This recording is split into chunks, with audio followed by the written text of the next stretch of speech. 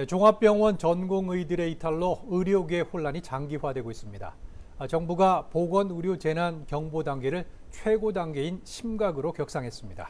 제주도도 재난안전대책본부를 꾸리고 의료 공백을 메꾸기 위한 대책 마련에 나섰습니다. 문수희 기자의 보도입니다. 의대정원 증원에 반대하는 의료계 집단 행동이 이어지며 정부가 보건의료재난 경보 단계를 위기 최고 단계인 심각으로 격상했습니다.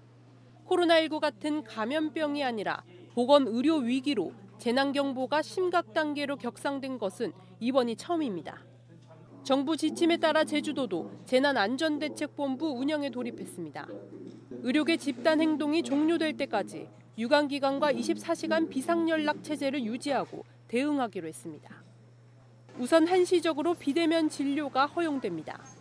의료기관을 방문하지 않더라도 휴대전화나 컴퓨터 등을 이용해 의사 진단을 통해 약 처방을 받을 수 있습니다.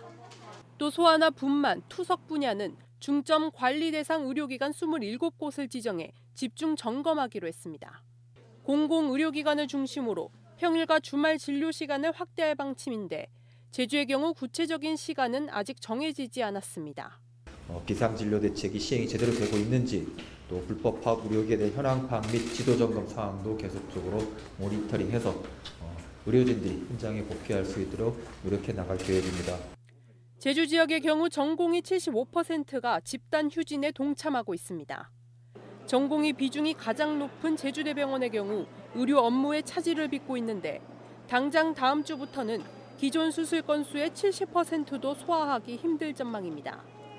병원 측은 다음 주까지 전공의들의 집단 휴직이 이어지면 응급과 수술뿐 아니라 외래 진료, 당직 업무까지 비상이 걸릴 것으로 보고 있어 도민들의 피해가 더 커질 것으로 우려되고 있습니다. KCTV 뉴스 문수입니다.